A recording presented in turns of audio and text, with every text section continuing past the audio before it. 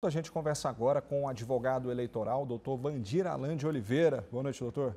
Boa noite, Paulo Henrique. Boa noite, Nayara. Boa noite. Uma alegria estar aqui mais uma vez na Record.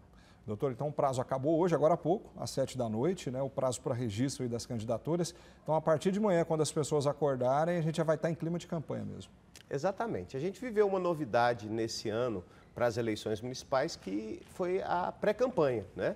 Então nós sentimos aí um gostinho da campanha eleitoral já com as possibilidades da pré-campanha, onde ninguém podia pedir voto. A partir de amanhã, aquilo que todo candidato estava ansioso para fazer, ele pode começar a partir de amanhã, efetivamente, a propaganda eleitoral está na rua. Doutor, para a gente entender essa propaganda eleitoral a partir de amanhã, por exemplo, redes sociais, a gente sabe que aquela né, é, que começa no rádio, na TV, não é agora.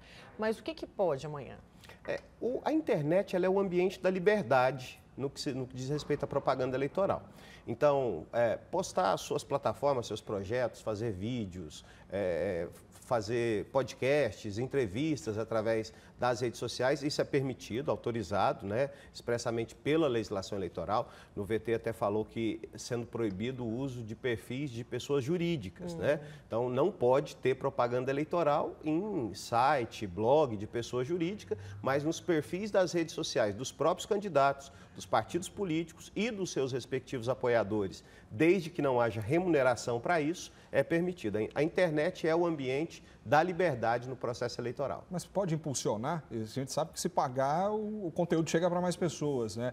A legislação permite isso agora? Permite. É autorizado, é, é um gasto de campanha é, previsto na resolução que trata das, da, da arrecadação e gastos eleitorais, desde que seja feito diretamente pelo candidato com o provedor de conteúdo, que no caso é a Meta. Né?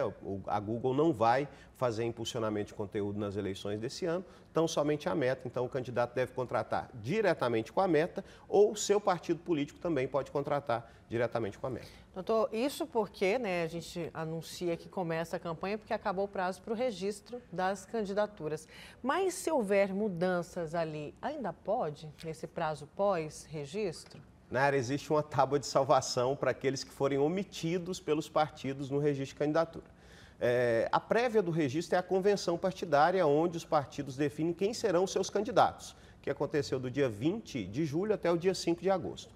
Se um determinado candidato teve o seu nome lançado na ata da convenção, e por alguma eventualidade o partido não tenha conseguido fazer o registro dele ou deliberadamente omitido esse requerimento de registro, ele pode fazer nos dois dias seguintes agora ao da, do término do prazo de registro oficial, que é hoje, dia 15, né? Então, nesses próximos dois dias, o candidato omitido, ele pode requerer o seu registro. Agora, doutor, a gente viu ali na reportagem, alguns itens já são antigos, não pode ter showmício, não pode ter distribuição de brindes, né, comício, é, é, shows, né, antigamente tinha bastante, mas já tem, nas últimas eleições já não era possível, mas algumas novidades, por exemplo, a questão de enquetes, a gente sabe que para produzir uma pesquisa eleitoral são critérios muito rigorosos, tem que ser registrado no Tribunal Regional Eleitoral.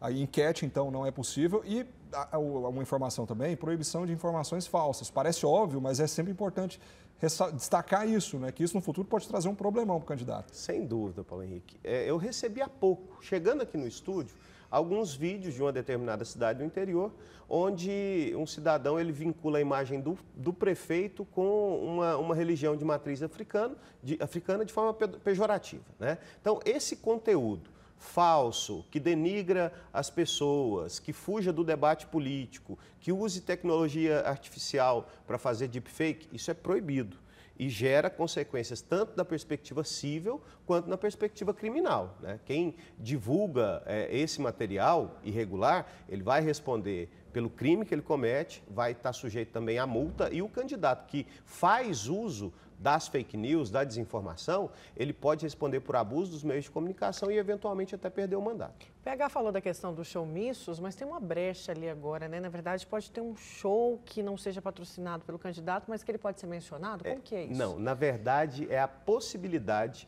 de eventos artísticos para arrecadação de recursos para a campanha esse evento ele não pode se transformar num showmício, né? não pode ter discurso do candidato, pedido de voto, mas a presença do candidato é possível e o objetivo desses eventos não é divulgar a candidatura, mas sim arrecadar recursos. É uma zona cinzenta, né? É difícil entender é. qual é a diferença. Eu não entendi muito bem. Eu, eu não recomendo que o candidato faça porque nós não temos uma segurança jurídica absoluta. Né?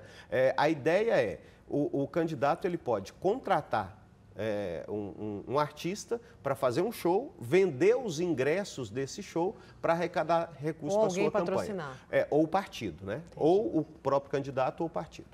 Isso aí. E, doutor, então, né, a gente viu que a questão das cotas também pode trazer um problema muito grande para os candidatos. Né? Sim, Goiânia, Goiânia nós vivemos uma situação seríssima. Muitas pessoas perderam o mandato. Salvo engano, 12 ou 14 vereadores perderam o mandato em Goiânia por descumprimento à cota de gênero, que é aquele percentual de vagas femininas, né? porque a gente sabe que a maioria das candidaturas hoje são masculinas, os 30% da chapa tem que ser de mulheres e tem que ser mulheres candidatas de verdade. Não basta simplesmente lançar uma mulher para poder preencher ali esse número de vagas. E o doutor trouxe um livro, né, doutor, ah, que o senhor sim. vai lançar. Temos um tempinho aí para falar dele, Direito Eleitoral, rapidamente. Rapidamente, que o jornal está Ah, muito obrigado. Nós estamos lançando, eu e a doutora Marina Moraes, é um livro Introdução ao Direito Eleitoral, destinado especialmente para quem atua né, nas campanhas eleitorais, advogados, contadores, é, coordenadores de campanha. Então, vai estar, tá vai estar tá disponível aí na Amazon, na editora Lumen Juris. Então, será um prazer compartilhar isso com vocês. Doutor Vandir Alain, obrigado pela presença mais uma vez. Boa noite. Muito obrigado, foi um prazer estar aqui. Obrigada, boa noite. Obrigado. Bora?